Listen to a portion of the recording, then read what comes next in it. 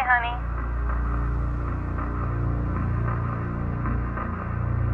Hope you're doing well. Just wanted to call and check up on you.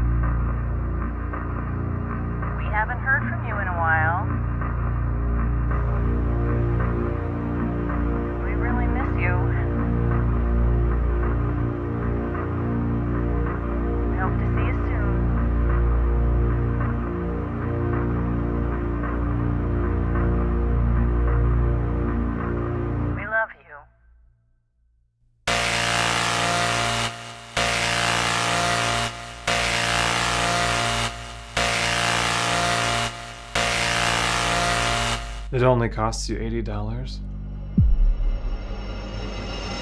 Best money ever spent. Have a good weekend, pal. I'm not a bad person! I'm not a fucking criminal!